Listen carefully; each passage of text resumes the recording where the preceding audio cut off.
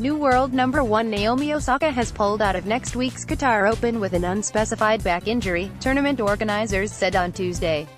Osaka, who had been set play for the first time since her Australian Open triumph, has suffered back problems in the past. I am sorry to have withdraw from Doha this years I was looking forward to playing and seeing my fans there, the 21-year-old said in a statement, I wish everyone a great week and hope to see everyone next year. Simona Halep, the Romanian who Osaka replaced as number one, Karolina Pliskova and Angelique Kerber head up the field from February 11 in Doha.